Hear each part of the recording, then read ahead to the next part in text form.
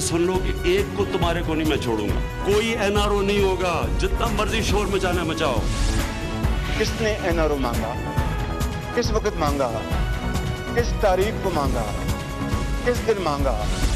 दस रुपए की रोटी पंद्रह रुपए का नान ये है नया पाकिस्तान बारे इमरान खान। जंग अभी जारी है। अभी हमें दायमी अमन की असल मंजिल पर पहुँचना है।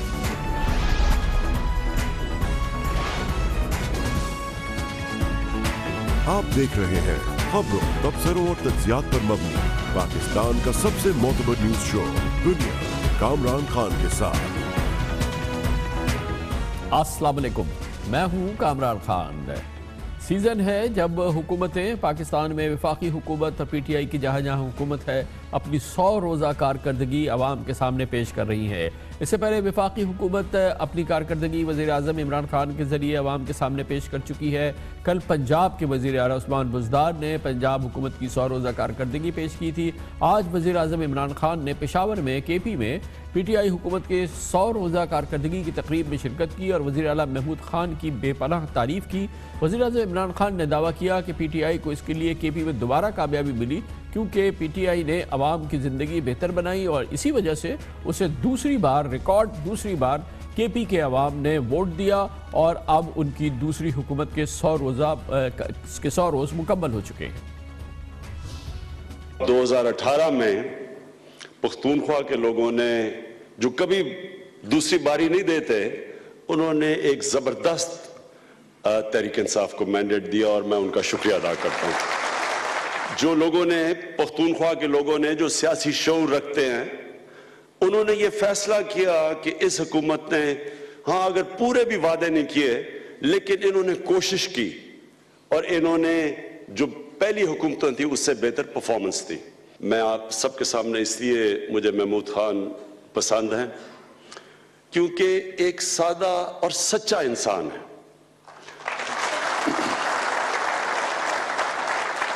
और दूसरा दूसरा मुझे महमूद खान की ईमानदारी के ऊपर पूरा एतमाद है। अगरचे वजी अजम इमरान खान ने आज की पी हुकूमत को सौ रोज़ा कारकर्दगी पर शाबाशी दी और उसकी कोई कसर भी नहीं छोड़ी, लेकिन हकीकत यह है कि यह बहरहाल मौका था कि वो पी टी आई हुकूमत के जो अब करते धरता है, उनसे पिछले पाँच साल दौर के हवाले से जो मामला अब भी तसली बख्श तरीके से हल नहीं हुए हैं, जो ख़ुद इस वक्त एक मलबे की सूरत में मौजूद हैं। पी टी आई हुकूमत की सबका जो कारकर्दगी रही उस हवाले से यकीन उसकी भी पूछ गछ करना इस मौके पर बहुत ज़रूरी थी। सूबाई दारकूमत पेशावर में मेट्रो बस का मनसूबा पी टी आई हुकूमत की गली में, गले में मुसलसल हड्डी बना हुआ है, जबकि के पी एहतसाब कमीशन की तश्कील से तहलील तक की दास्तान भी तहरीक इंसाफ के लिए बहरहाल एक शर्मिंदगी का बायस है। हर सूरत में पेशावर के एक हज़ार मकाम पर कैमरे लगाने का मनसूबा, यानी Peshawar safety safe city project भी खटाई में पड़ा हुआ है। मालम जब्बा का मनसूबा जो है, वो बदतरीन मिस मैनेजमेंट का शिकार हुआ है और अब नैब के जेर तफ्तीश है। ये सारे मामला जो हैं यकीन ये एक मलबे से ताबीर किया जा सकता है। फ़िलहाल इनकी कैफियत ये है। के पी में मेट्रो बस का पहला मनसूबा Peshawar B R T project P T I की हुकूमत के लिए यकीन एक बहुत मुश्किल कैफियत बनी हुई है। सिर्फ़ एक साल में इस मनसूबे की लागत 50 अरब रुपए से बढ़ के छियासठ अरब रुपए तक हो चुकी है। गोया के इस मनसूबे पर 16 अरब रुपए बढ़ चुके हैं। छः महीने की मुद्दत वाले पिशावर मेट्रो बस मुकम्मल करने की पाँच डेडलाइन इस दौरान सामने आई है। इस मेट्रो बस मनसूबे ने पिशावर शहर को उधेड़ कर रख दिया है और हालात काबू में नहीं आ रहे। हमने एक टेंडर किया।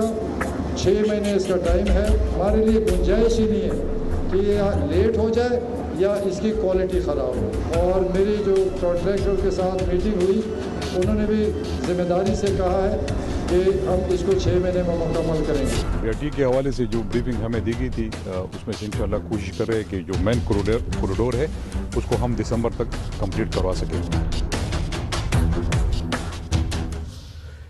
के पी हुकूमत की पी टी आई के पी में पी टी आई की हुकूमत के लिए एक और बड़ी नदाबत का बायस है। के पी एहतसाब कमीशन तहरीक इंसाफ की हुकूमत ने सूबाई एहतसाब कमीशन के कानून में तरामीम की। इसको पेशावर हाई कोर्ट के मातहत करने की कोशिश की। सियासी मदाखलत की वजह से कमीशन के चेयरमैन जनरल हामिद खान ने एहतजाजन इस्तीफ़ा दिया। साढ़े तीन साल तक एहतसाब कमीशन गैर फाल और मुंजमद रहा।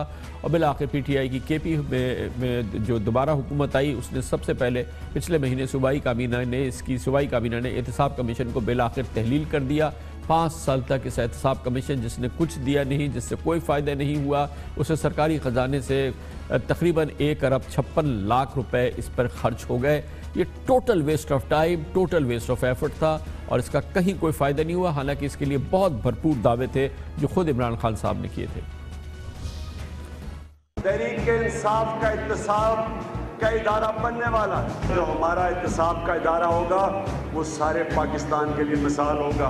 के पी में पहली दफ़ा एक आज़ाद एहतसाब बनाने की कोशिश की गई। जो अब हम एहतसाब बनाएँगे आपको जो डी जी एहतसाब लेके आएँगे जो कमीशन बनाएँगे इन वो गलतियों से सीख के आएँगे। एक ज़बरदस्त किस्म का एहतसाब एक्ट आप लेके आए हैं जो पहले से भी ज़्यादा मज़बूत है। हमारा एहतसाब आज़ाद है किसी को जवाब दे नहीं है। और यही है इंसाफ। जिस तरह पख्तूनख्वा का एहतसाब को चलना चाहिए था। मुझे अफसोस से कहना पड़ता है कि हम कामयाब नहीं हुए। हम कामयाब नहीं कामयाब नहीं हुए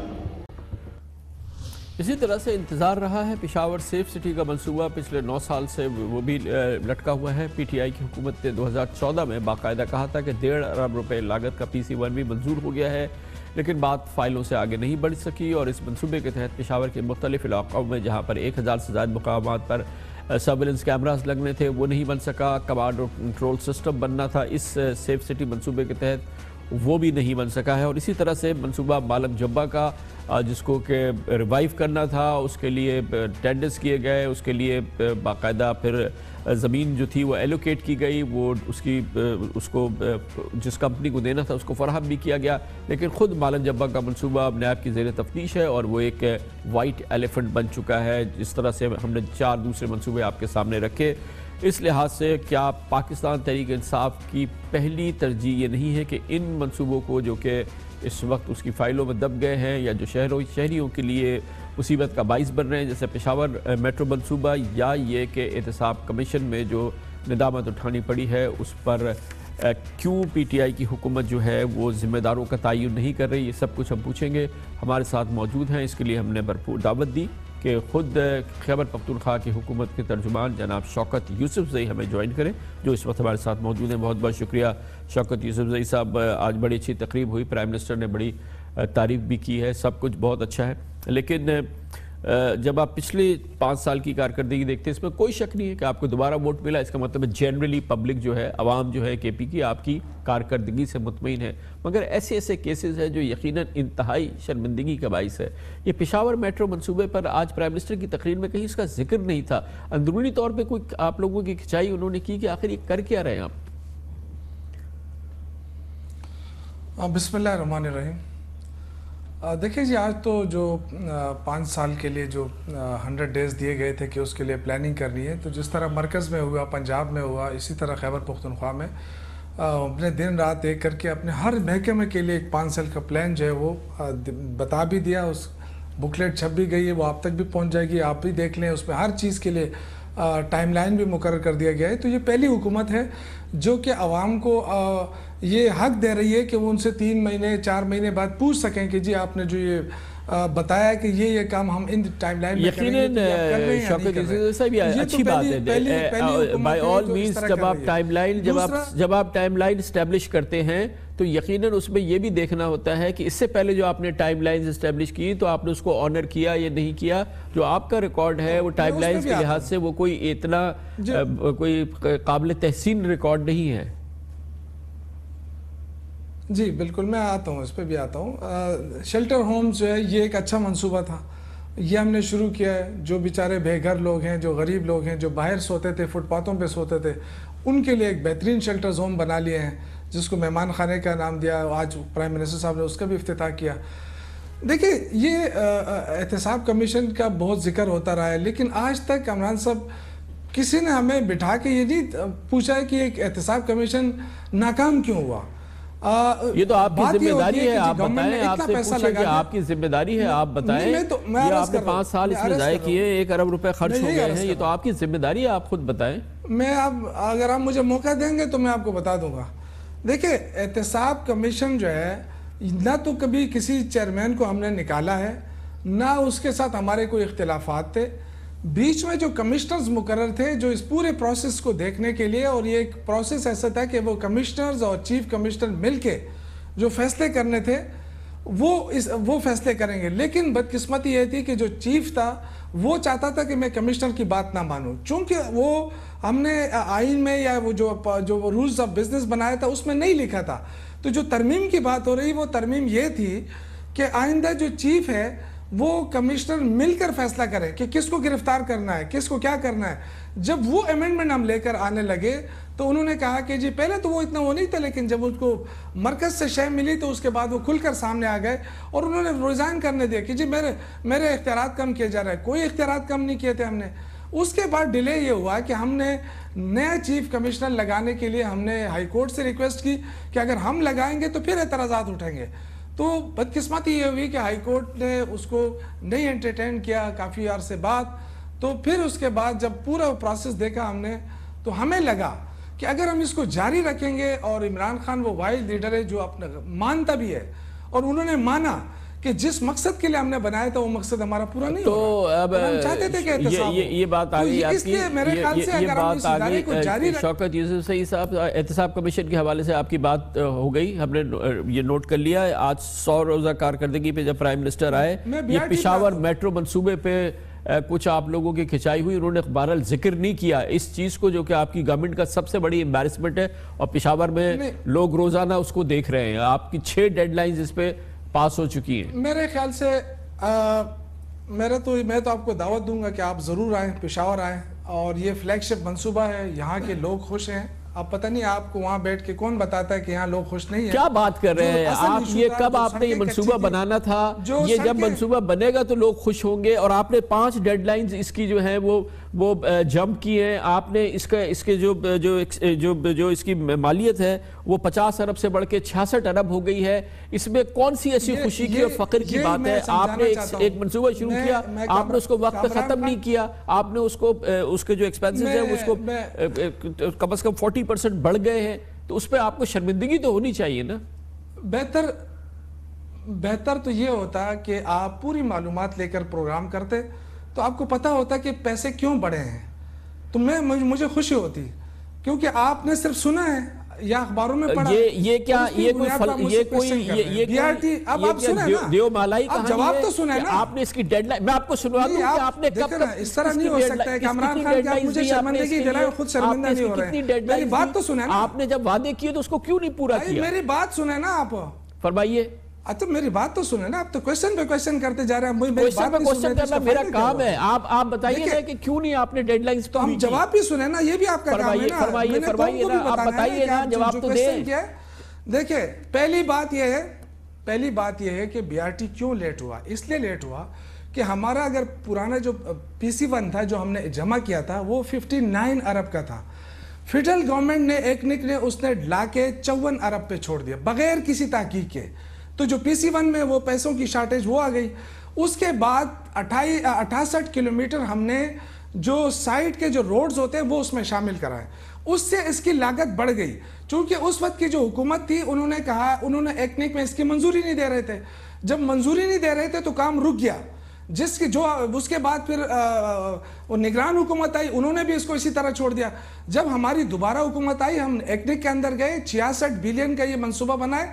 और एकनिक ने उसकी मंजूरी दी उस पर दिन रात काम हो रहा है। इन मैं आपको बता रहा हूँ कि अप्रैल में ये मंसूबा आप देखेंगे। अभी भी है अमीर अब्बास एक आपका एंकर है वो अभी फिरा है मेरे साथ। उसने कहा ऑलमोस्ट कंप्लीट है। सिर्फ़ इसमें जो है वो आ, उसकी फिनिशिंग रहती है और अप्रैल के अंदर चूँकि बसें अप्रैल में आनी है तो इंशाल्लाह अप्रैल में हम शुरू करेंगे। ये जो आप कह रहे हैं ना कि अप्रैल लागत- बढ़ गई है। लागत इसलिए बढ़ी है क्या अप्रैल में आपसे इंशाल्लाह बात करेंगे। आपकी तर्जुमानी भरपूर अंदाज से आपने कर ली। के पी हुकूमत के तर्जुमान हैं, हमारे साथ मौजूद थे जनाब शौकत यूसुफजई बहुत बहुत शुक्रिया शौकत यूसुफजई साहब। कमर्शियल ब्रेक, उसके बाद ज़िक्र करते हैं के पी हुकूमत के लिए एक और बड़ा मसला है। मालम जब्बा का प्रोजेक्ट उन्होंने शुरू किया। नैब के जेर तफ्तीश है, मौजूदा वजी अला सबक वजी अला और कई और अहम लोग पी टी आई के। ये बहुत ही अहम मनसूबा है और ये भी एक वाइट एलिफेंट बन गया है। के पी हुकूमत के लिए इसकी बात करते हैं छोटे से वक्फे के बाद। वजी अला परवेज़ खटक, जो कि आजकल वज़ीर दिफा हैं, उनके साथ उनके हवाले से तहकीक़ात हो रही है। इसके अलावा पी टी आई के कई और इंतहाई अहम लोगों से इस मामले में तहकीक़ात हो रही है। मालम जब्बा राज़ी करप्शन केस में वजी अला खैबर पख्तूनख्वा महमूद खान को नैब ने पीर को तलब कर रखा है। आज पी टी आई के सैनिटर मोहसिन अज़ीज़ नैब पेशावर पेश हुए, जबकि सीनियर वज़ीर आतिफ खान बैरून मुल्क होने की वजह से अभी फ़िलहाल पेश नहीं हो सके हैं। सबक वजी अला और मौजूदा वजी दिफा परवेज़ खटक, सबक चीफ सेक्रटरी अमजद अली खान और वजी अजम इमरान खान के इस वक्त के प्रिंसिपल सेक्रटरी आज़म खान पहले ही अपने बयान रिकॉर्ड करा चुके हैं।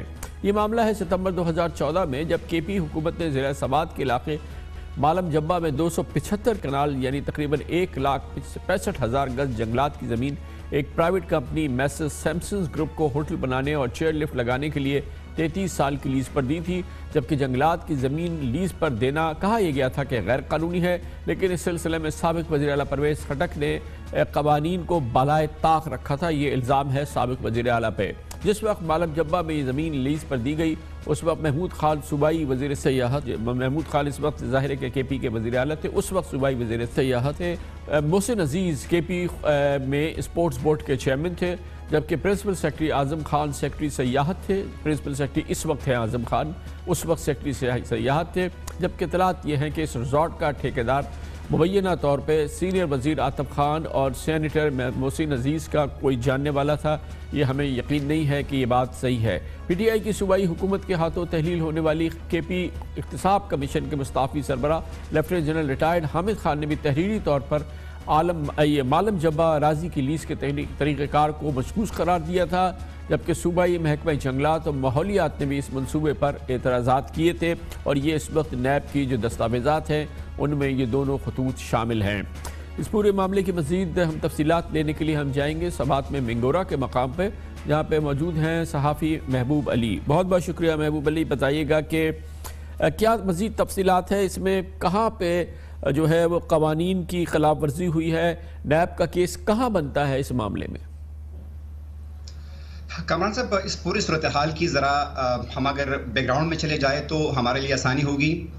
मतलब जब की जो ज़मीन है जो कि सैमसन ग्रुप को लीज पर दी गई थी साल 2014 में मार्च 2014 में सूबाई हुकूमत ने ये ज़रूरत महसूस की कि मनजब्बर रिजॉर्ट, जिसमें छः लिफ्ट शामिल है और साथ में होटल शामिल है, उसकी दोबारा बहाली जो है वो ज़रूरी है, क्योंकि साल 2008 में दहशतगर्दों ने इस रिजॉर्ट को धमाका खेज मवाद से तबाह किया था। सूबाई हुकूमत के इस फैसले के बाद तीन मार्च को मुख्तलिफ़ अखबार में इश्तहार दिए गए और वो कंपनीज़ जो कि मतलब जब्बा में सरमाकारी करना चाहते थे तो उनसे दरखास्तें तलब की गई थी और उनको ये कहा गया था कि इकतीस मार्च तक अपनी दरखास्तें जमा कराएँ। ताहम, बाद में कुछ नामालूम वजूहत की बिना पर दरखास्तों की मुद्दत में 10 अप्रैल तक इजाफा किया गया। जब ये दरखास्तें सामने आ गई तो उस वक्त की जो सबसे हाईएस्ट बिडिंग कंपनी थी सैमसंग ग्रुप उनको इस ज़मीन की जो लीज जो है, वो दी गई सालाना एक करोड़ बीस लाख रुपए के एवज उनको ये लीज दी गई। तम उसके बाद सूरत हाल ये रही कि जब उनको ये ज़मीन दी गई तो ये ज़मीन मजमू तौर पर दो सौ पचहत्तर एकड़ अराजी पर मुश्तमिल ज़मीन थी। मोकम फारिश का मौकफ ये था कि ये जो ज़मीन है, इनमें से सत्रह एकड़ के अलावा, जिसमें बारह एकड़ पर छः लिफ्ट है, वो बनाने थे और पाँच एकड़ पर होटल जो है, वो तामीर किया जाना था। इसके अलावा जो दो सौ अट्ठावन एकड़ ज़मीन है, वो मोहकमा फारिस्ट की मलकियत है और उनका ये कहना था कि मोहकमा फारिस्ट के आर्डीनेंस दो हज़ार दो के मुताबिक मोहकमा फारिश की ज़मीन जंगलात के अलावा और दरख्तों के अलावा किसी और मकसद के लिए इस्तेमाल नहीं हो सकती। तो मौकफ ये था कि जब ये ज़मीन दी गई थी तो उस वक्त जो एहतसाब कमीशन के जो सरबरा थे जनरल रिटायर हामिद खान जरा के मुताबिक उन्होंने उस वक्त भी इस पर काफ़ी रिजर्वेशन जो है वो ज़ाहिर की थी। अब सूरत हाल ये है कि जो ज़मीन है दो सौ अट्ठावन एकड़ की जो ज़मीन है, वो सैमसंग ग्रुप से वापस तो ले ली गई है।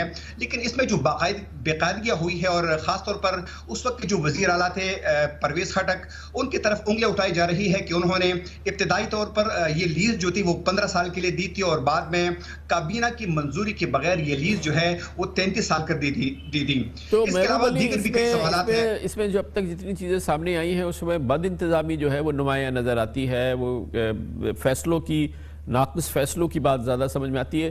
लेकिन फाइनेंशियल करप्शन की बात तो इसमें फ़िलहाल तो कोई बादी नज़र में नज़र नहीं आती है। कमरान साहब, इसमें सूरत हाल ये है कि कई बातों पर जो अब तक इतराज़ात उठाए जा रहे हैं, सबसे पहली बात तो ये है कि इब्तदाई तौर पर जब इश्तहार दिया गया था तो ये कहा गया था कि ये ज़मीन जो है, ये पंद्रह साल के लिए लीज पर दी जाएगी, जबकि बाज, बाद में नामालूम वजूहत की बिना पर यह ज़मीन जो है, ये तैंतीस साल के लिए कर दी गई थी। सबसे पहली बात तो ये है। दूसरी बात यह है कि जिस कंपनी को ये ज़मीन अलाट कर दी गई है, खुद उस कंपनी को भी अब तशवीश है, क्योंकि उन्होंने अब तक, मलम जब्बा में चार अरब रुपए की इन्वेस्टमेंट की है। जिसमें मलम जब्बा की चेयर लिफ्ट की बहाली का काम अ, मुकम्मल हो गया है। साथ में जो फाइव स्टार होटल है उसको तामीर किया जा रहा है। लेकिन खुद उस कंपनी का भी कहना है कि हमारे साथ ये दावे और ये वादी किए गए थे कि मंगलोर से लेकर मलम जब्बा तक ये तकरीबन कोई पैंतीस किलोमीटर पर मुहित सड़क है जिसको तामीर सूबाई हुकूमत करेगी। अब तक वो सड़क तामीर नहीं हो सकी है।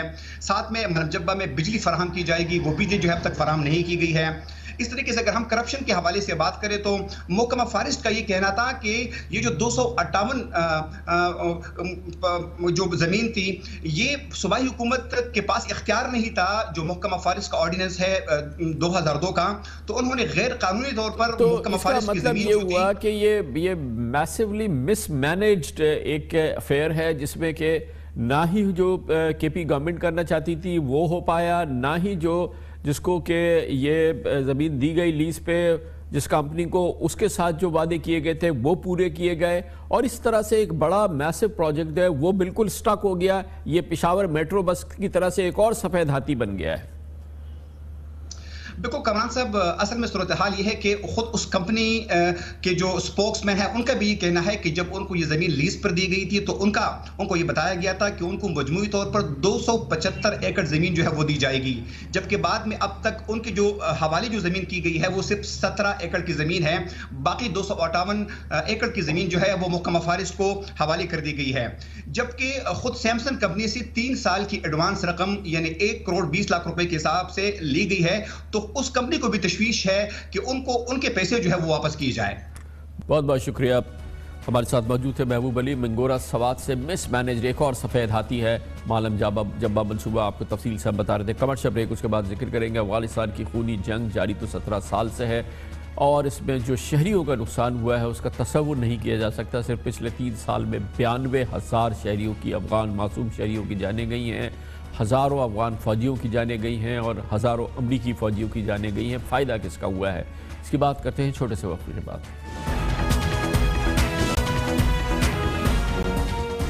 अफ़गानिस्तान पर अमरीकी हमले के सत्रह साल बाद ये इलाका एक संगीन तरीन अलमिया का रूप धार चुका है। ताज़ा तरीन आदाद शुमार के मुताबिक दो हज़ार अठारह अफ़गानिस्तान के लिए मोहलिक तरीन साल साबित हुआ, जिसमें अब तक चवालीस हज़ार छः सौ पचपन अफगान फोर्सेज एहलकार और सिविलियन हलाकतें हो चुकी हैं। इस हवाले से बात सामने आई है कि पिछले तीन साल के दौरान अफगान जंग के दौरान मजमू तौर पर बयानवे हज़ार से जायद शहरी और सिक्योरिटी एहलकार अफ़गानिस्तान में हलाक हो चुके हैं। गुजशत तीन साल में बयानवे हज़ार हलाकतें हुई हैं। अब सन 2016 में रोज़ाना 22 अफगान फौजियों की हलाकत होती थी। अब रोज़ाना सत्तावन एहलकार हलाक हो रहे हैं। गैर सरकारी आदाद शुमार के मुताबिक इस साल बीस हज़ार से जायद अफगान फौजी हलाक किए गए हैं, जबकि सत्रह साल अफगान जंग ढाई हज़ार से जायद अमरीकी फौजियों को निगल चुकी है। इस पूरी सूरत हाल पर इस इंसानी अलमिए पर बात करते हैं। हमारे साथ मौजूद हैं मुमताज़ सीनियर सहाफ़ी समी यूसुफजई बहुत बहुत शुक्रिया समी यूसुफजई साहब। ये जो फिगर्स हमारे सामने आ रही हैं, इसका मतलब तो ये है कि अफ़गानिस्तान का तकरीबन हर घर इस जंग से मुतासर है और इस पूरी सूरत हाल में हर शहरी जो है, वो इस जंग का मुकम्मल तौर पर ख़ात्मा चाहता होगा, चाहे किसी भी कीमत पर हो। क्या तासुर सही है?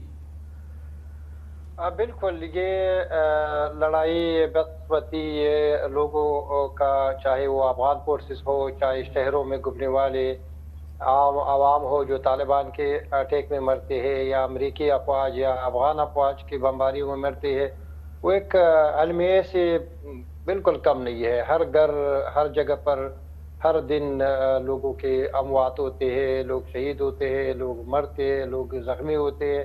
और फिर उसके बाद जो सूरत हाल बन रही है, वो यही है कि अफ़गानिस्तान बदकस्मती से कोई हल भी नज़र नहीं आ रही है। यानी अफवाह बढ़ रही है लोगों की मुश्किल बढ़ रही है, ख़वातीन अपने शोहरों को लॉस कर रहे हैं बीवियाँ खातून वेडोज हो रही है, यतीम हो रही है, लेकिन कोई हल नहीं है। बदकस्मती से अगर लोग ये कह सकते हैं कि चलो हम बीस हज़ार अफगान फोर्सेस के कुर्बानी देते हैं और लेकिन इसमें सभी चलो हम एक टारगेट इसमें सबसे बड़ी बात यह है कि ये क्राइसिस में ये अमवात कम होने के बजाय चाहे सिक्योरिटी फोर्सेस हो चाहे सिविलियन हो चाहे मासूम शहरी हो ये अमवात बढ़ी रही है और ये साल सबसे खतरनाक है 2018 जी बिल्कुल। इसका वजूहत यही है कि एक तरफ़ दाइश बिल्कुल लोगों के दरमियान अटैक कर रही है दूसरे तालिबान के अटैक थे, उससे भी ज़्यादातर जो जो उनके टारगेट होते हैं, वो एक दो उनके जो फौजी मरते हैं या अमेरिकन पे करते हैं, बाकी सारी अफगान अवाम मरती इसी तरह अफगान फोर्सेस जो बॉम्बिंग करते उसमें भी काफ़ी अमवात हो रहे आज ही खुनड़ सूबे में अफगान फोर्सेज और अमेरिकन ने बमबारी की है। बहुत सारे बच्चे हलाक हो गए हैं और लोग शहीद हो गए। तो मेरे ख्याल में इसका वजह यह है कि हुकूमत का अपना एक गिरफ्त जो है ना सोर्सेज फोर्सेज के ऊपर वो कमज़ोर है। तालिबान भी एक ऐसे लड़ाई लड़ रहे हैं उनको भी अब समझना है कि क्या करें। पहले वो अमेरिका को अटैक कर देते अब एक किस्म के अफगानों के अपनी वार बन चुके हैं। बहुत बहुत शुक्रिया समी यूसुफ साहब हमारे साथ मौजूद है कमेंट से ब्रेक इस दौरान आप न्यूज़ हेडलाइंस देखेंगे जिसके बाद हम अपने प्रोग्राम के बाकी हिस्से के साथ वापस आते हैं।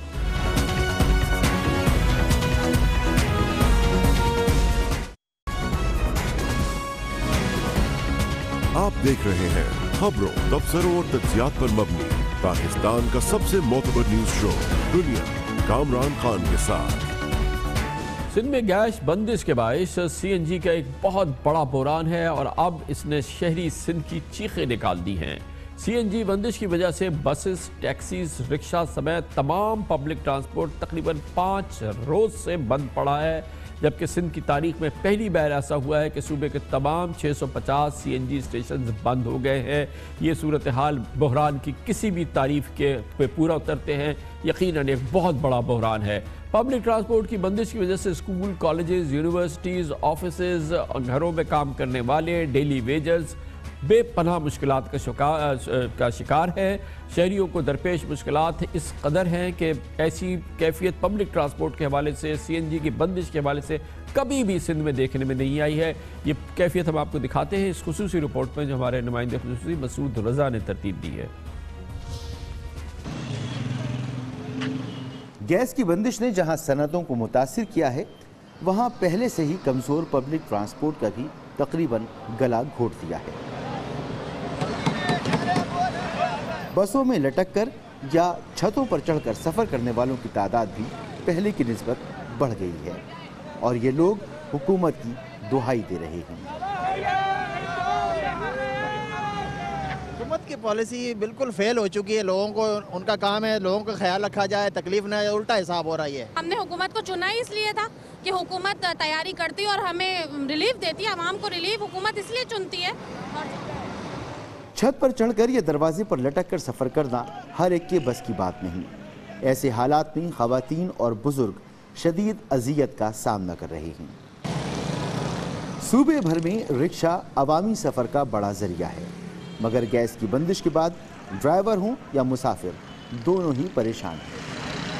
सी जी है ही नहीं है आवाम पूरा आवाम परेशान है कल से सवारी भी नहीं मिलेगा।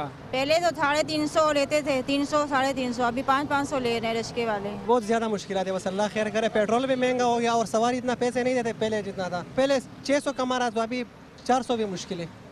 उबर और करीम जैसी सर्विसेज़ इस्तेमाल करने वाले लोग भी ज़्यादा पीक आर से परेशान हैं। जिसके दौरान उन्हें किराया भी ज़्यादा अदा करना पड़ता है और सवारी भी देर से मुहैया होती है।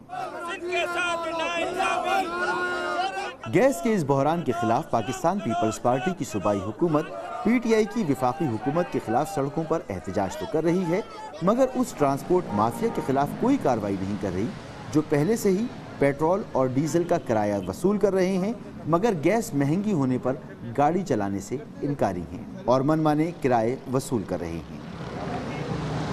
नहीं अभी साठ रुपया किराया बना लिया पंद्रह तीस रुपया का दवा का तीस इधर का साठ रुपये किराया। दुगना फ़ायदा हासिल कर रहे हैं तीस की जगह पे साठ रुपए किराया ले रहे हैं बहुत मुश्किल हो रही है। सूबे में पहले से तबाहाल पब्लिक ट्रांसपोर्ट को सहारा मिलने के बजाय इसे शदीद धचका लगा है और दफातर में भी हाजिरी कम हो गई है। गैस का ये बहरान हुकूमत की गलत पॉलिसी का नतीजा ही करार दिया जा रहा है। अगर हुकूमत बर वक्त फैसला करती तो शायद इस बहरान से बचा जा सकता था।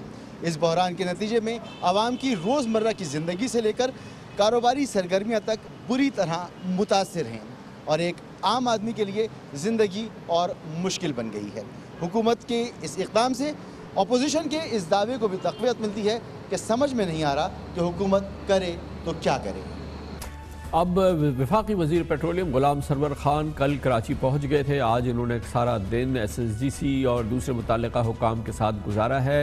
उनका कहना यह है कि हालात अब उनकी समझ में आ रहे हैं, मगर किस हद तक समझ में आए हैं और इससे पहले क्यों समझ में नहीं आए थे, इस बहरान की ज़िम्मेदारी क्या खुद उन पर आयद नहीं होती, ये हम पूछेंगे और आज हमें ज्वाइन कर लिया है, हम दो दिन से कोशिश कर रहे थे।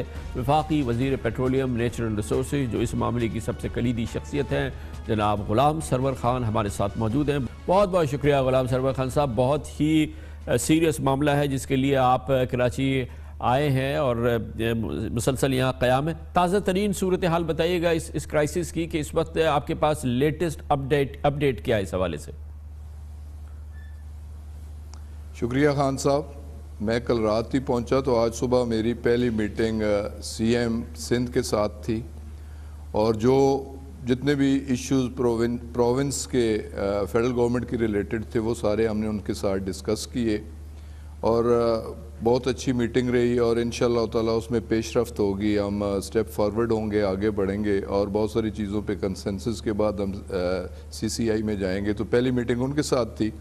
उसके बाद जो मेन कराची के इशू हैं, एक तो इंडस्ट्रीज़ की गैस थी और दूसरा सीएनजी का इशू था जी। तो मेरी आज काफ़ी लंबी सैर हासिल बास हुई एस एसएसजी की इंतज़ामिया के साथ। सारे लोग मौजूद थे। हमने दो तीन घंटे उनके साथ गुजारे। तो इन डिटेल सारी डिस्कशन हुई। अब बुनियादी तौर पे आ, मैं थोड़ा सा आपको पीछे लेके जाना चाहूँगा कि ये इशू राइज कहाँ से हुआ? सर वो मैं पूछता हूँ आपसे सिर्फ़ मुझे अपडेट दे दें कि अभी इसकी करंट स्टेटस क्या है? वो ही स्टेटस है जो दो दिन पहले थी या तीन दिन पहले थी जब ये प्रेस रिलीज़ आया था एसएसजीसी का? देखें जी वो स्टेटस नहीं है जो दो दिन पहले था या तीन दिन पहले था कि जिन फ़ील्ड से ऑयल एंड गैस फ़ील्ड से हमारी प्रोडक्शन कम हो रही थी, वो प्रोडक्शन अब बहाल होनी शुरू हो गई है। और कल तक और सूरत हाल बेहतर हो जाएगी। कल तक मैं फुली सेटिस्फाई हूँ कि इन ताला सूरत हाल महमूल पे आ जाएगी। और सूरत हाल मामूल पे आने के बाद आज मेरी मीटिंग इंडस्ट्रीज़ के साथ भी हुई है, कल सी एन जी एसोसिएशन के साथ भी करेंगे। तो इन ताला अच्छी खबर दे कि कल यहाँ से कराची से वापस मैं चलें ये तो बहुत अच्छी बात। तो गुलाब सरवर साहब अब ये बताइएगा कि ये जो एक मोस्ट अनप्रेसिडेंटेड गैर गैर मामूली सूरत हाल हुई जिसमें अचानक तमाम सीएनजी स्टेशन बंद कर दिए गए फिर कैप्टिव पावर्स की सप्लाई बंद कर दी गई और यकीनन एक एक बहुत ही अनप्रेसिडेंटेड बहरान पैदा हुआ है क्योंकि पब्लिक ट्रांसपोर्ट कराची में बहुत इससे चलता है। इसकी क्या वजह क्या थी? बुनियादी तौर पर अब आपने क्या डायग्नोज किया है? देखें जी इसकी बड़ी सिंपल और सादी सी वजह थी कि जो मेरिट ऑर्डर है वो एक नया मेरिट ऑर्डर तरतीब दी है। ईसीसी की इस पर कई मीटिंग्स हुई हैं जिसमें सर फहरिस्त रखा गया था पावर सेक्टर के लिए। Hydro generation second alternate energy जिसमें आपका विंड भी आता है जिसमें आपका बा, बाकी चीज़ें भी आती हैं सोलर भी आता है। फिर नंबर थ्री पे उसके लिए हमने रखा गया आर एल एन जी तो फर्नेस ऑयल की प्रोडक्शन तो हो रही थी, लेकिन फर्नेस ऑयल की कंजम्पशन नहीं हो रही थी। उस मेरिट ऑर्डर पे फर्नेस ऑयल लास्ट पे आता था। रिफाइनरीज में उनके स्टॉक्स जो हैं वो ओवरफ्लो करना शुरू हो गए थे स्टॉक्स फिल हो गए थे। और उसकी वजह से उस रिफाइनरीज ने अपनी प्रोडक्शन कम कर दी थी। जैसे कि अटक ऑयल पिंडी है, उसकी प्रोडक्शन 65 पे आ गई थी। जैसे कराची की रिफाइनरीज हैं, ये भी आलमोस्ट 60 65 परसेंट पे आ गई थी। तो ये हमारे लिए काफ़ी परेशान कन सूरत हाल थी।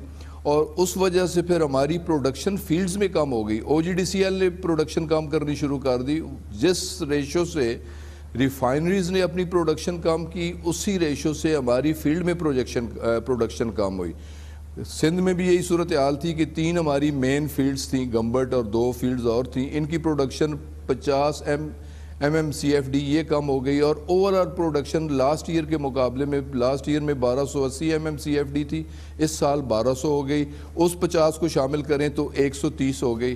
तो अब अलहमदिल्ला के रिफाइनरीज का जो स्टॉक था, वो उठना शुरू हो गया। वो स्टॉक जो है, आगे उसकी शिफ्टिंग शुरू हो गई। कुछ शिफ्टिंग जो है, वो पीएसओ ने उनके स्टॉक्स ले लिए। कुछ आईपीपीज में उनकी शिफ्टिंग हो रही है, उनके स्टॉक्स की। और रिफाइनरीज अपनी पूरी प्रोडक्शन पे आ रही हैं। तो, जब रिफाइनरीज अपनी प्रोडक्शन पे आएँगी तो ऑयल फील्ड्स अपनी प्रोडक्शन पे आ जाएँगी। क्रूड ऑयल और गैस निकलनी शुरू हो जाएगी।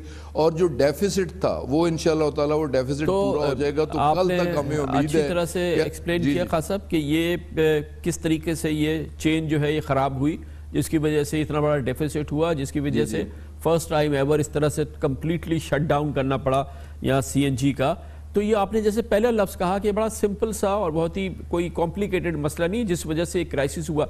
ये बताइएगा कि फिर ये किस वजह से आपने सुई नॉर्थ और सुई साउथ के बोर्ड्स को डिसॉल्व कर दिया, उनके एमडीज को अंडर इन्वेस्टिगेशन कर दिया है, इन बोर्ड्स का क्या बोर्ड ऑफ़ डायरेक्टर्स का क्या कसूर था? आपने कहा बड़ा सिंपल सा मामला था। तो इन दोनों कंपनीज़ के बोर्ड ऑफ़ डायरेक्टर्स का क्या मामला था कि ये इतने क्राइसिस के बाद इतने बड़ी पब्लिसिटी हुई है, जिसमें कहा गया कि इनके बोर्ड्स को प्राइम मिनिस्टर ने फ़ौरन डिसमिस कर दिया है। तो इन बेचारों का क्या कसूर निकला फिर?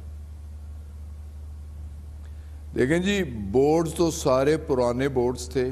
पिछली गवर्नमेंट के बने हुए बोर्ड थे। और पॉलिटिकल मोटिवेटेड बोर्ड थे, उसमें मैनिपुलेशन थी, सियासी लोग बैठे थे प्रोफेशनल लोग नहीं थे, और बोर्ड और बोर्ड जो है वो एक डिसीज़न मेकिंग भी है और पॉलिसी मेकिंग भी है, वो तो हमने डेफिनेटली वो बोर्ड्स रिकॉन्स्टिट्यूट करने थे। पहले बोर्ड सिर्फ़ इन दो कंपनीज़ के बोर्ड नहीं हम बोर्ड ओजीडीसीएल का भी तब्दील कर रहे हैं हम बोर्ड पीपीएल का भी तो तब्दील सर वो कर तो रहे हैं, आपके पास सौ रोज थे। हैं, अगर आपने सौ रोज में नहीं किया और आज किया और उस दिन किया कि प्राइम मिनिस्टर ने सख्त नोटिस लिया है और इस वजह से इस इन बोर्ड्स को हाँ, तहलील कर रहे हैं। आप ऐसी चीज़ पे जिस पे आप खुद कह रहे हैं कि कोई इशू नहीं था ये। नहीं, ये इशू नहीं था, लेकिन इसके अलावा कुछ इश्यूज़ थे कि जैसे हमारे कुछ कंप्रेसर्स ख़राब हुए, आठ कंप्रेसर थे, आठ में से छः कंप्रेसर ख़राब हुए, दो कंप्रेसर वर्किंग कंडीशन में थे। वो वो एस एस जी एल ने हमें बर वक्त इन्फॉर्म नहीं किया कि जो inflow R L N G का नॉर्दर्न पार्ट में आ रहा था, वो थोड़ा कम होना शुरू हो गया।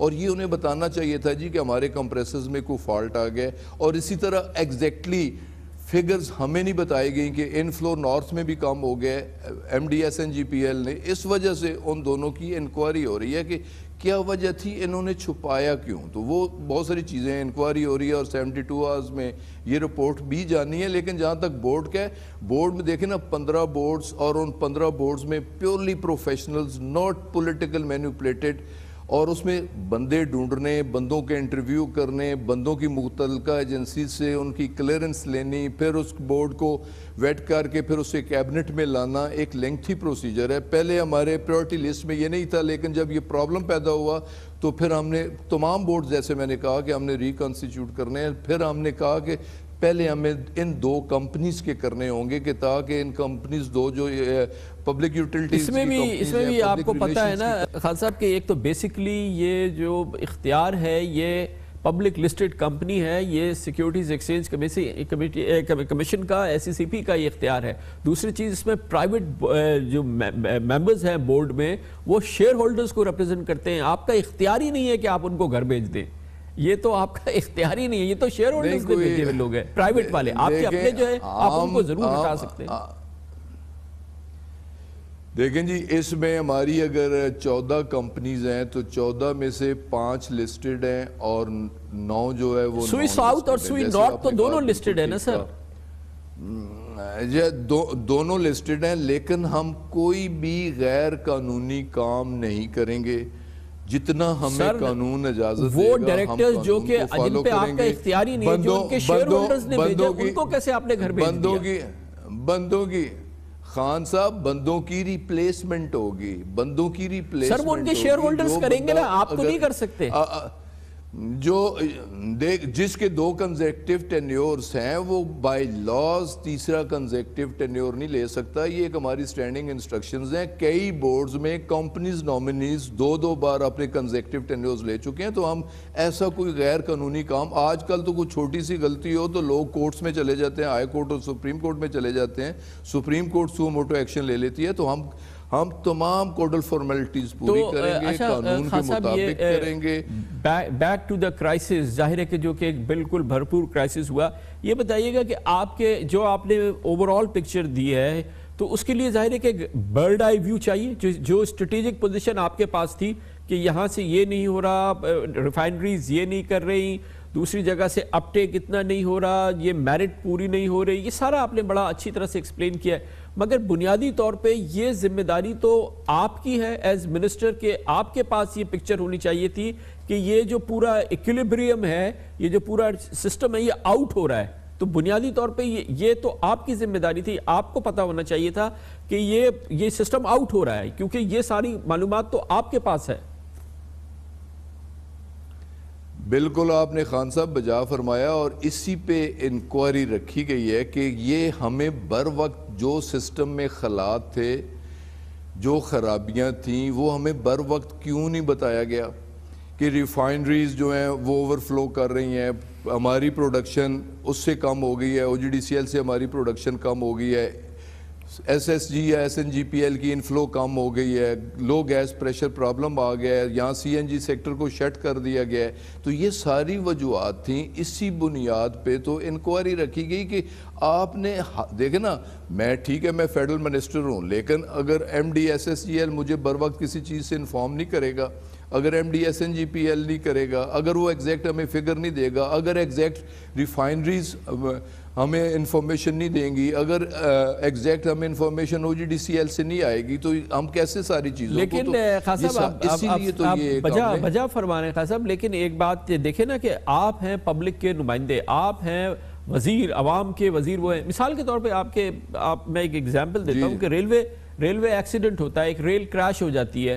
तो रेलवे का वज़ीर इस्तीफा देता है। वो तो रेल नहीं चला रहा था। वो तो रेल का शेड्यूल मैन वो तो सिग्नल्स को नहीं चेक कर रहा था। लेकिन क्योंकि उसकी ज़िम्मेदारी होती है कितना बड़ा क्राइसिस हुआ तो आपको आपने नहीं फील किया कि आपकी आप अपनी ज़िम्मेदारी में यहाँ पर पूरी तरह से उसको आप पूरा नहीं कर सके। चाहे जिसकी जो भी वजह हो, सिस्टम को आप नहीं देख सके, आपके बोर्ड्स आपके काबू में नहीं थे, उसको आप पहले से मैनेज नहीं कर सके, फिर ये सिस्टम कोलैप्स कर रहा था अंदर से, वो आप नहीं पता कर सके तो आपको ज़िम्मेदारी तो लेनी होगी। सर, सिस्टम, खान साहब खुशी की खबर आपके लिए भी और आवाम के लिए भी कि सिस्टम को हमने कोलैप्स नहीं होना दिया।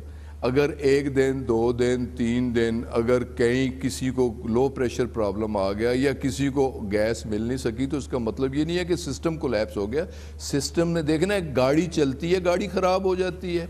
गाड़ी का एक्सीडेंट हो जाता है। अगर कंप्रेसर ख़राब हो गए हैं तो कंप्रेसर ख़राब होने की चीज़ है।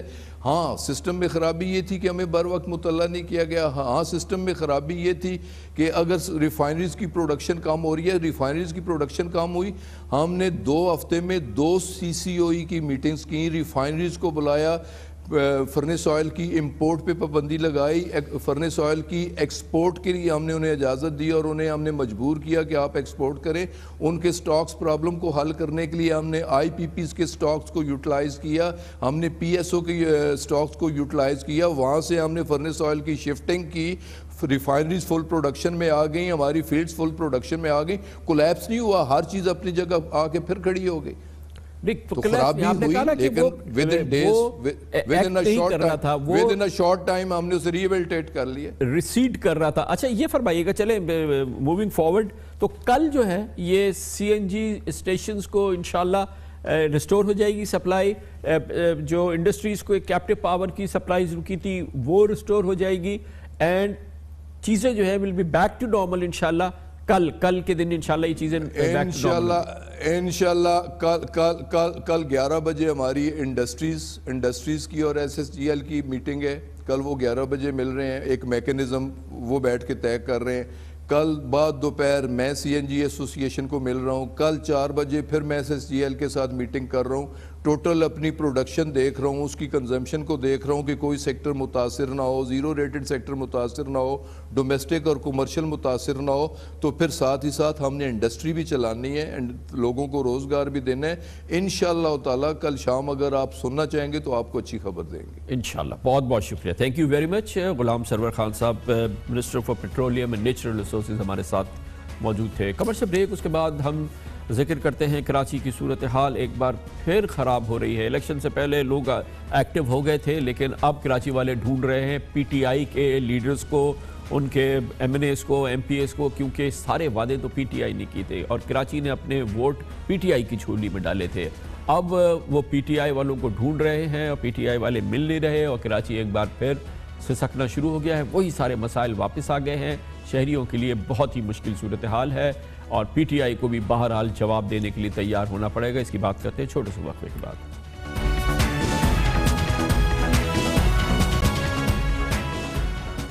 कई दहाइयों से टूटी फूटी सड़कों पर सफ़र करने वाले पब्लिक ट्रांसपोर्ट से आरी अपने हिस्से के पानी को टैंकर से खरीदने वाले और कूड़ों से पाक शहर के ख्वाब देखने वाले कराची के दो करोड़ शहरियों ने पीटीआई को मैंडेट दिया था।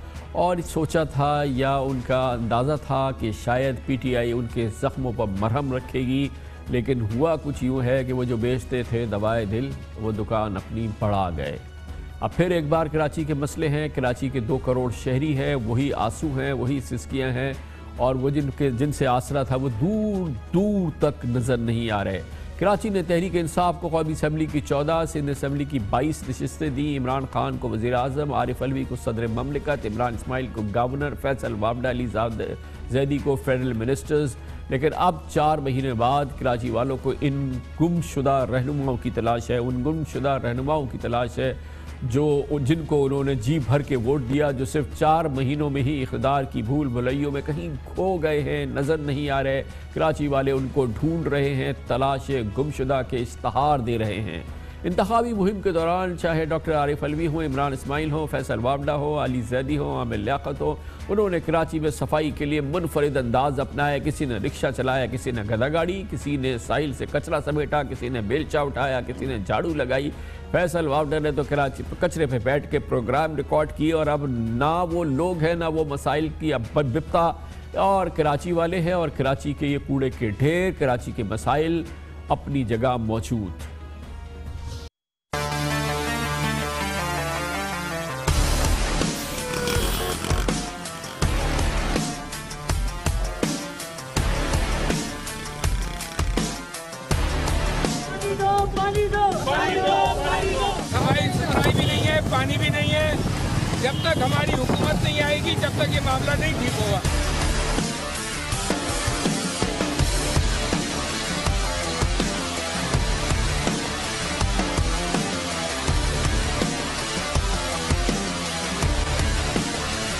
कराची इस वक्त एक कचरे के ढेर का नमूना पेश करता है। आज हमने जो कैंपेन का अफ्ताह किया है ये कैंपेन अभी बहुत आगे जानी है।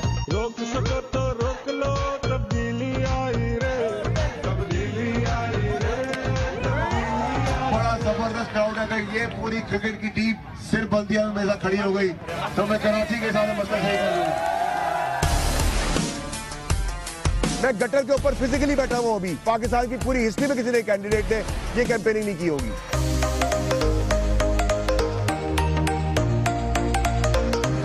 यहाँ से सारा ये सफ़ाई करवा के। इसको दबाना पड़ेगा ना तो भर गया ये दूसरा डंपर का है। दूसरी गाड़ी भी आगे है।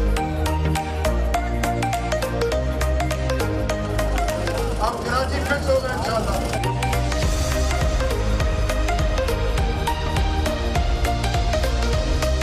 शहर की हालत कोई सुधारने को तैयार नहीं है। तो भाई अपनी मदद आप ही करना पड़ेगा ना।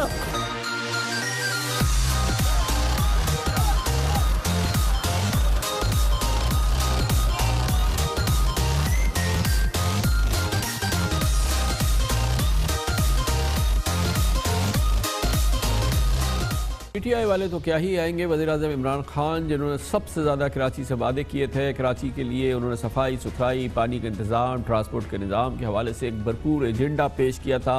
अब कैफियत यह है कि लास्ट टाइम जब वो कराची में आए तो कराची के मसाइल के हवाले से उन्होंने कोई बात नहीं की। यहाँ मीशत पे, कारोबार के हवाले से ज़ाहिर उनकी बड़ी बहुत बात हुई है। और वो कराची वाले बहरहाल उनके वादे, उनके प्रोग्राम, उनके एजेंडे को बहुत याद कर रहे हैं। पहली दफ़ा कराची का एक मास्टर प्लान बनाएँगे बताएँगे कि 20 साल में कराची जा रहा है क्योंकि इस वक्त कोई प्लान ग्रोथ नहीं है कराची की। हमने कराची को बदलते देखा।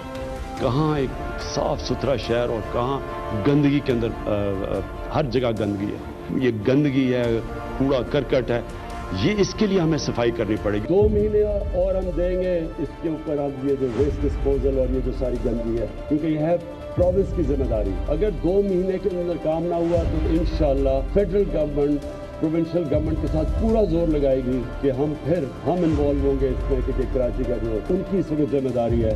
हम ये वेस्ट डिस्पोजल का पूरा एक कॉम्प्रिहेंसिव प्लान बनाएँ। कराची में पानी नहीं है। सब जानते हैं कि टैंकर माफिया आ गया, वो लोग पानी देने पे पैसा बना रहे हैं। और इसके लिए हम पूरे प्रोग्राम बना रहे हैं डिसलेशन प्लांट भी, और और भी कि हमने कैसे कराची के लोगों को पानी देना कराची के लिए ट्रांसपोर्ट हमने करनी है, और वो इंशाल्लाह हम सिंध हुकूमत के साथ पूरी मदद करेंगे। नॉर्दर्न बाईपास हमने बनाना है ताकि कराची से ट्रैफ़िक का जो प्रॉब्लम है, वो सीधा बाईपास करके तो कराची का ट्रैफ़िक प्रॉब्लम हो।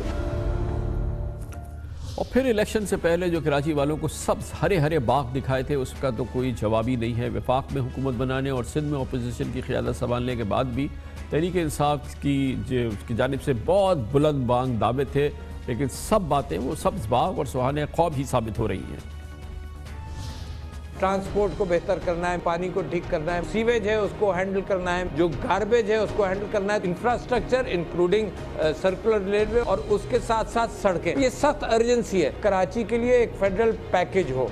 तब ये मामला कराची का हल होगा। आप वो चेंजेस देखने लगेंगे कराची के अंदर। मास ट्रांजिट सिस्टम उसके ऊपर फौरी तौर से फंड रिलीज़ करके उसको मॉनिटर करेंगे, उसका काम शुरू कराएँगे। पीने का पानी है, उसके लिए डिसलिनेशन का जो हमने वादा किया था कराची में, वो फौरी तौर से हमने शुरू करना है। टाइमलाइन बनाए कि आज से कितने दिन बाद पीने का पानी मिलेगा, आज से कितने दिन बाद कचरा साफ़ हो जाएगा, आज से कितने महीने के बाद सड़कें बन जाएँगी, कितने साल के बाद ट्रांसपोर्ट का मसला हल होगा। कराची के अंदर डबल डेकर बसें देना पसंद करेंगे। ये बसें दे के किस तरीके से दे के वो चलती भी रहें और वो बाजी की बसों की तरह सिर्फ़ दो या चार माह में ख़राब ना हो जाए।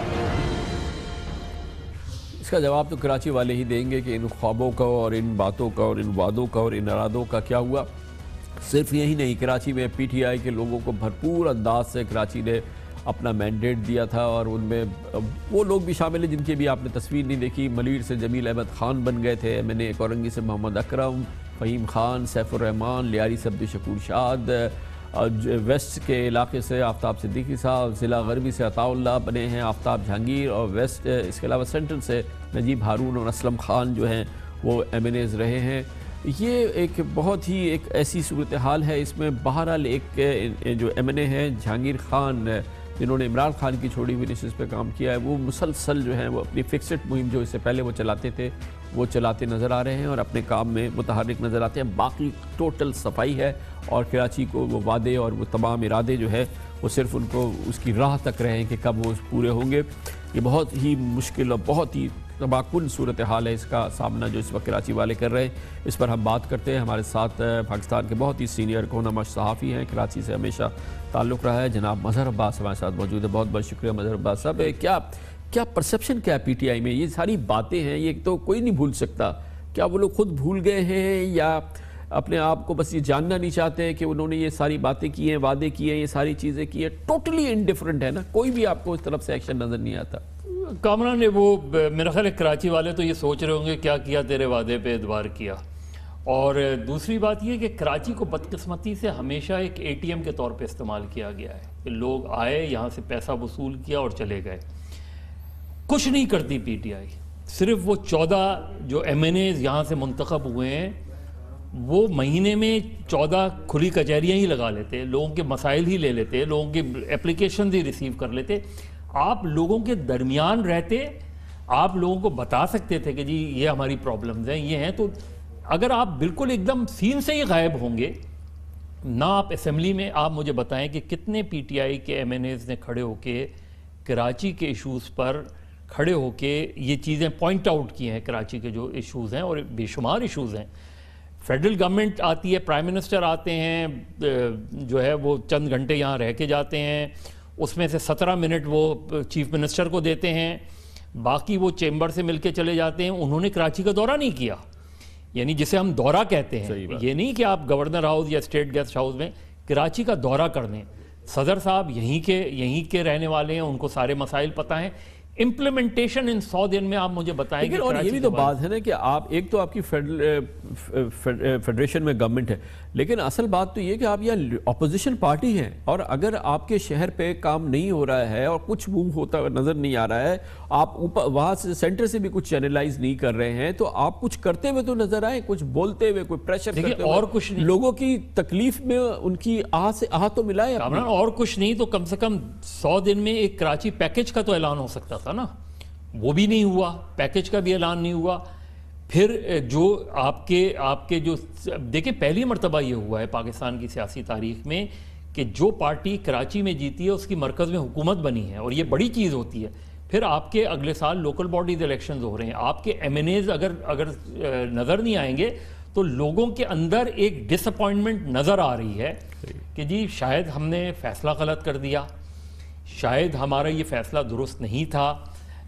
जो आपकी मुखालिफ पार्टियाँ वो तो ये कहती हैं कि जी जी इंजीनियरिंग हुई है इलेक्शन तब्दील के रिज़ल्ट तब्दील किए गए हैं। लेकिन आप ये खुद प्रूफ कर रहे हैं। अपनी कॉन्स्टेंसीज में ना रह के ये प्रूफ कर रहे हैं कि आप वाकई आपकी उस तरीके से लॉयलिटीज़ कराची के साथ नहीं रही, उसके साथ नहीं है। देखिए, कराची वालों को एक बहुत एक्सपीरियंस हुआ तीस साल एम क्यू एम का। एक तरीके से वो एक सेंस ऑफ़ इनसिक्योरिटी में निकल के एमक्यूएम में गए थे। अब एक सेंस ऑफ़ इनसिक्योरिटी उनका बढ़ा 22 अगस्त के बाद तो उन्होंने पीटीआई का रुख किया बहुत से लोगों ने। लेकिन अब उन्हें एक डिसअपॉइंटमेंट सा हो रहा है। और कराची में सबसे बड़ी मसला ये है कि कराची इतना वाइबल शहर है कि अगर आप एक एक फुटपाथ पे भी एक ठेला लगा लेते हैं तो वो ठेले वाला जो है हज़ार रुपए लेके चला जाता है कम से कम उस पर तो ऐसे शहर को जो आपका इकोनॉमिक हब हो जो आपका कमर्शियल हब हो जिसके बारे में जिस तरह आप कह रहे थे कि अगर आप ऑपोजिशन में रहते हुए कचरा उठा सकते हैं। आप ये देखें ना कि किस तरह कितनी बड़ी इस वक्त सिचुएशन है कराची में इंक्रोचमेंट्स के रिमूवल के बाद। आपके इस शहर में जिसके के आप सोल वाहिद शहर है जिसको कि आप कह सकते हैं हम रिप्रेजेंट करते हैं। उसमें हज़ारों कारोबार ख़त्म हो गए। ठीक है, वो सुप्रीम कोर्ट का ऑर्डर हुआ है। हज़ारों लोगों के कारोबार ख़त्म हो गए। दसियों हज़ारों फैमिलीज़ जो हैं, वो बेरोज़गार हो गई हैं। लाखों लोग मुतासर हुए हुए हैं। एक बहुत ही बहुत ही ग्रेव सी सिचुएशन है। और वो पार्टी जिसको उसने वोट दिया, वो कहीं पे हवा में भी नज़र नहीं आ रही है। वही तो मैं कह रहा हूँ कि अभी जब प्राइम मिनिस्टर आए थे तो प्राइम मिनिस्टर देखिए चेंबर से बिल्कुल मिले हैं फेडरेशन वालों से भी मिले।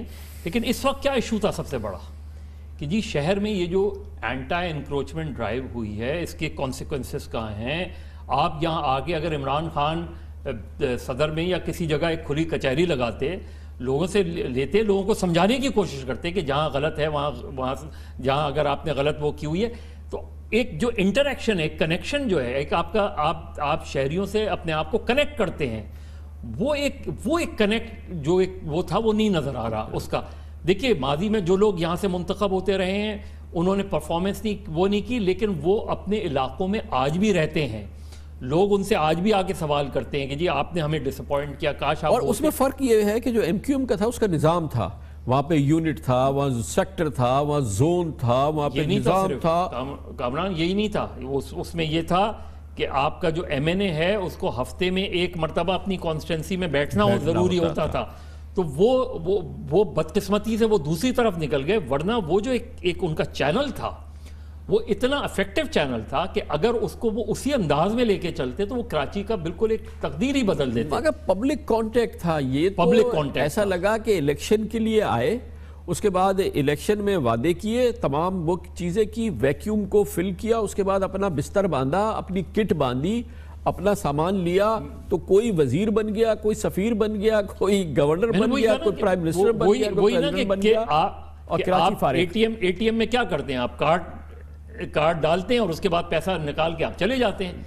तो बदकिस्मती से और ये इतना इतनी इतनी बड़ी अपॉर्चुनिटी मेरा ख्याल है पीटीआई को मिली कि उन्होंने बदकिस्मती से कम से कम इन सौ दिनों में पीटीआई की जो परफॉर्मेंस अगर सबसे वर्स्ट रही है तो वो कराची में रही कराची में रही। और किसी ने पलट के उन बातों को वादों को नहीं देखा। ये डॉक्टर आरिफ अलवी ने किस तरह की कैंपेन चलाई है? कभी रिक्शा चला रहे हैं तो कभी पानी में उतर रहे हैं तो कभी फैसल वामडा कूड़े पे प्रोग्राम कर रहे हैं तो कोई मतलब आज क्यों नहीं आज क्यों नहीं अगर क्यों नहीं? क्या कूड़े साफ़ हो गए? अगर आज आज क्यों नहीं आप विफाकी वज़ीर बन के अगर कचरा उठाएँगे तो उसका उसका इम्पैक्ट कितना होगा? कल तो आप ऑपोजिशन में थे। लेकिन अगर वो कचरा वहाँ पड़ा हुआ है और आपके बस में नहीं है कि आप वो उठा सके तो आप कम से कम जाके लोगों के दरमियान बैठते हैं और अगर अगर आप वो नहीं करते तो कम से कम as opposition party as a powerful party आप पीपल्स पार्टी तो नहीं करेगी लेकिन उस पर प्रेशर तो आप डाल सकते हैं कराची की पब्लिक को लेकर तो सबसे सामने खड़े हो सकते सबसे पहली मीटिंग प्राइम मिनिस्टर को यहाँ आके अभी ये करनी चाहिए थी कि उसे चीफ मिनिस्टर को बुलाना चाहिए था उसे मेयर को बुलाना चाहिए था उसे डीजी डीजी के उसको कैंटोनमेंट के उसको बुलाना चाहिए था और वो प्लान जो सुप्रीम कोर्ट ने दिया था वो अगर प्राइम मिनिस्टर उसकी ओनरशिप ले लेते कि मैं इसको इम्प्लीमेंट करवाता हूँ मैं कराची में इस तरीके से करता हूँ सारी गवर्नमेंट और प्रोविंशियल गवर्नमेंट कोई आपसे हटती थोड़ी? प्रोविंशियल गवर्नमेंट आप आप उसको मजबूर होती है आपके साथ और क्रेडिट आपको जाता अगर प्राइम मिनिस्टर ये कहता है कि जी मैं आपको सौ करोड़ दे रहा हूँ फॉर द कराची आप ये ये चीज़ें वो करें तो वही चीज़ डायरेक्शन सुप्रीम कोर्ट की होती। लेकिन आप ज़्यादा बेहतर ऑर्गेनाइज करते और उसके नतीजे में क्रेडिट जहाँ अगर सिंध गवर्नमेंट को चाहता तो आपको डिस्क्रेडिट नहीं जाता। आप ये कहते कि प्राइम मिनिस्टर ने आके वो इनिशिएटिव लिया प्राइम मिनिस्टर ने आके सारी चीज़ों को चैनलाइज किया और पीटीआई पीटीआई के लेवल पे आपने उस चीज़ को अ, उनके लोगों को भी देते पीटीआई के एमएनएस को भी देते कि जा आप और और अगर ये सूरत हाल सामने रही तो अगले साल जो लोकल बॉडीज इलेक्शन होने वाले हैं तो वो तो पीटीआई के लिए तबाकुन नतज लाएँगे। इसलिए मुश्किल होंगे कि पीटीआई तो देखिए ना लोकल बॉडीज तो फिर आपको यूनियन काउंसिल के लेवल पे आपको आपको नीचे के लेवल पे जाके फिर काम करना पड़ेगा आपको। उसमें इस तरह थोड़ी होगा उस तरी, उस तरीके से कि अगर आपने इस तरीके से अगर आप पीटीआई के एम इस तरह इस तरह नहीं गए अपने इलाकों में नहीं बैठे अपने इलाकों में और फेडरल गवर्नमेंट ने फेडरल गवर्नमेंट ने उस तरीके से इंटरेस्ट नहीं लिया कराची में। सिर्फ़ हम एक या अली जैदी अगर कोई बयान दे दें या Imran Ismail as a governor कोई बयान दे दें ये मैटर नहीं करता। आपको एक्शन चाहिए। एक्शन चाहिए और एक्शन सबसे जो इफ़ेक्टिव एक्शन हो सकता है वो प्राइम मिनिस्टर के लेवल पे हो सकता है। प्राइम मिनिस्टर को चाहिए कि कराची में आके एक दो दिन रहें कराची में आके लोगों को बैठाएँ इन्हीं चीज़ों को चैनलाइज करें जो सुप्रीम कोर्ट की डायरेक्शन थी। आप ज़्यादा बेहतर अंदाज में कर सकते हैं जिन लोगों को कॉम्पनसिएट करना है उनको कॉम्पनसिएट करें अभी आपने सर्कुलर रेलवे वो शुरू करनी है अभी आपने आपने वो बस सर्विस शुरू करनी है तो फेडरल गवर्नमेंट जितना इनिशिएटिव लेगी तो उसका फ़ायदा अल्टीमेटली पीटीआई को भी जाएगा और प्रेशर आएगा पीपल्स पार्टी पे। पीपल्स पार्टी और दीगर जमातों में प्रेशर आएगा कि भाई at least federal government without interfering into provincial government उनके डोमेन में इंटरफेयर करिए बगैर प्राइम मिनिस्टर बहुत कुछ कर सकते हैं। बदकिस्मती से अभी तक कम से कम वो चीज़ें नज़र नहीं आ रही। बहुत बहुत शुक्रिया बहुत शुक्रिया मजहर अब्बास हमारे साथ मौजूद है कमर्शियल ब्रेक, उसके बाद ज़िक्र करते हैं मीडिया की। आजकल की इंटरेस्टिंग खबर है वो हार्ट टॉक जो कि असद उमर ने किया। बड़ा इंटरेस्टिंग उन्होंने इंटरव्यू दिया। बात सामने आई कि हार्ट टॉक ने कुछ चीज़ें असद उमर के इंटरव्यू से निकाल दी थी। उसमें बीबीसी की पकड़ हुई है, मगर उन्होंने फिर उसको ऐड कर दिया है। मगर बहुत ही दिलचस्प मामला इसकी बात करते हैं छोटे से वक्त के बाद।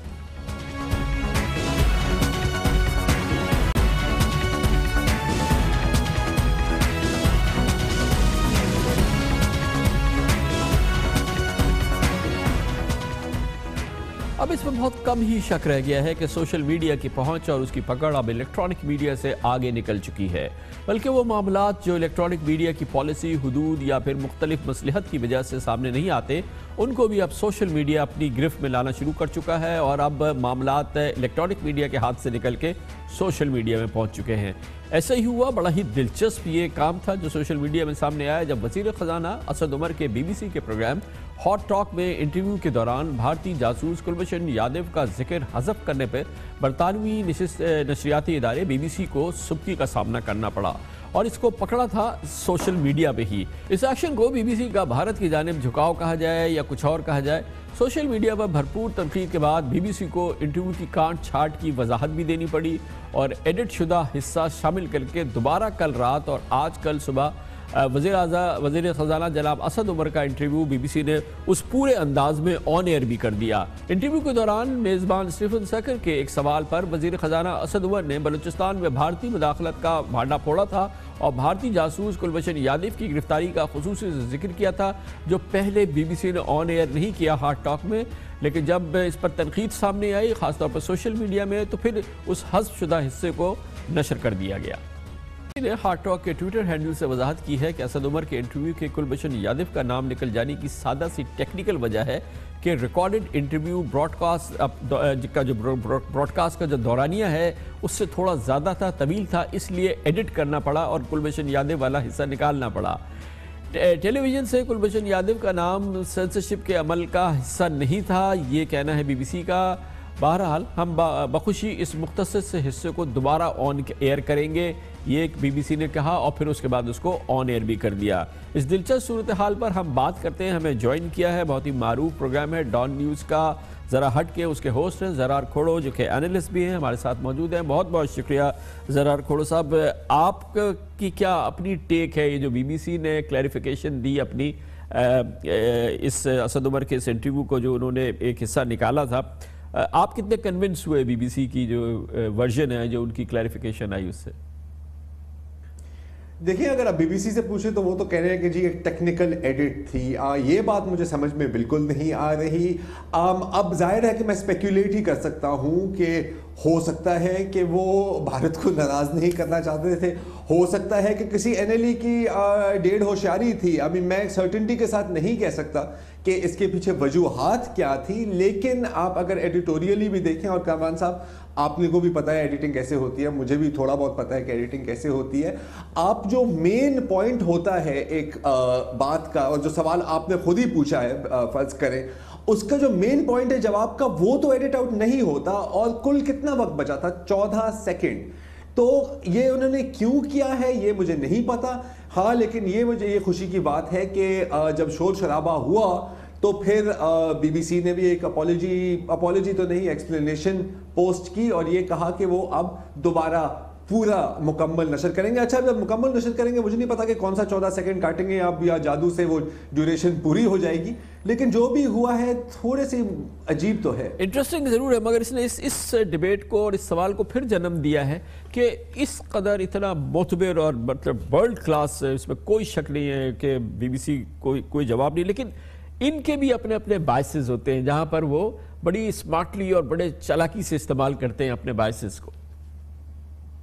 आम, अब देखिए हर एक मीडिया का एक बायस है हम माने या ना माने। आप न्यूयॉर्क टाइम्स की रिपोर्टिंग लिख ले इसराइल और फ़लस्तीन पे। तो जब फ़लस्तीनी मारे जाते हैं तो लगता है कि पता नहीं कोई दिल का दौरा हो गया था और कुदरती वजूहत से बंदा मर गया हालाँकि उसके सर में गोली लगी थी। आम, एक इसराइली पे हमला होता है तो ओ माय गॉड ये तो टेररिज्म हो गई। है मैं नहीं कह रहा कि वो अच्छी बात है उन पर हमला करना। लेकिन कुछ आम, क्या कहते हैं ना वो फिग लीफ एक रहनी चाहिए इतना भी ओपनली ब्लेटेंट नहीं होना चाहिए। आम, हालाँकि आप आजकल वैसे बदकिस्मती से यही ज़माना है कि हर एक मीडिया का एक बहुत वाज किस्म का एजेंडा नज़र आ रहा है। चाहे वो रशिया टुडे हो या वो प्रेस टीवी हो ईरान का या अल अरेबिया हो आम, कुछ थोड़ी सी बेहतर तरीके से उसको स्पिन कर लेते हैं या डिस्गाइज कर लेते हैं लेकिन गेम तो तकरीबन कमो पेश एक ही है। अच्छा मगर इस इस एपिसोड में एक चीज़ बड़ी दिलचस्प है, वो है कि जिस तरह से सोशल मीडिया ने इस इशू को लेके चला है, पकड़ा है, पूरा ये, पूरी क्रेडिट इसका सोशल मीडिया को जाता है बीबीसी को जिस तरह से इंगेज किया है, फिर उस सोशल मीडिया पे ही बीबीसी का रिस्पांस सामने आया। तो ये एक बड़ा एक बड़ा ज़बरदस्त ओकेजन है पाकिस्तान में सोशल मीडिया जिस अंदाज से वो इस वक्त पनप रहा है और जिसकी, जितनी उसकी क़वत नज़र आ रही है, इसका इम्पैक्ट नज़र आया है इस एपिसोड में ख़ास तौर पर मैं सौ फ़ीसद आपसे एग्री करता हूँ, कामरान साहब। और देखिए मतलब कहते हैं ना कि जब तक बच्चा शोध नहीं करता तो माँ भी दूध नहीं पिलाती। तो अगर बीबीसी से भी आप चाहते हैं कि बीबीसी आपको कुछ पिलाए तो शोध तो मचाना पड़ता है। अब क्योंकि हम भारत की बात कर रहे हैं तो आपने ये भी देखा होगा कि जब कोई भी नेगेटिव न्यूज़ आती है, वो दुरुस्त हो या गलत हो इंडियन सोशल मीडिया भी एक्सप्लोर करता है और अक्सर इतना प्रेशर डेवलप हो जाता है कि लोगों को अपने अल्फाज वापस लेने पड़ते हैं या उन पर तरदीद करनी पड़ती है। अब मैं ये नहीं कह रहा कि ये हमेशा एक अच्छा रास्ता है, लेकिन एक चीज़ जो ज़ाहिर है जो सोशल मीडिया ने की है कि अब वो वन वे कम्युनिकेशन नहीं है। ये नहीं है कि मैं बीबीसी देख रहा हूँ या मैं दुनिया न्यूज़ देख रहा हूँ तो वो एक वन वे कम्युनिकेशन है। मैं अपना फ़ोन खोल के, मैं जी भर के, और अक्सर लोग गालियाँ ही दे रहे होते हैं हम जैसे लोगों को। लेकिन कम अज़ कम ये आज़ादी है कि आप वो कर सकते हैं, और इससे काफ़ी एक तब्दीली भी, मुस्बत तब्दीली आ जाती है आजकल मुस्बत बातें करने का टाइम है। तो आज भी अगर आप देखिए तो दो मिसालें हैं कि दो वीडियोज़ अपलोड हुई सोशल मीडिया पर। एक जो मदरसे में एक बच्चे को पीटा जा रहा है और फिर एक और मैं ख्याल शायद रावलपिंडी में एक शख्स, एक खातून को तशद का निशाना बना रहा है। और आप देखें कि दोनों उन्हीं वीडियोस की वजह से आइडेंटिफाई भी हुए हैं और गिरफ़्तार भी हुए हैं। तो यकीनन जी, इट्स न्यू वर्ल्ड। बहुत बहुत शुक्रिया और यकीनन ज़रार खड़ो साहब जो है, वो बड़ा ब्राइट एडिशन है उनके दूसरे साथी जो इस प्रोग्राम ज़रा हट के के होस्ट है। बेहतरीन प्रोग्राम है और आपने उनकी उनका तबसरा भी देखा इस बड़े अहम मौजू में जिसमें ख़ुद उनका भी बड़ा ज़बरदस्त किरदार रहा है इसके साथ ही हमारे आज के प्रोग्राम का अख्ताम होता है कल सैटरडे संडे को हमारी तातील रहती है पीर को इन आपसे फिर मुलाकात होगी पीर तक के लिए कामरान खान को इजाज़त अल्लाह हाफिज़ से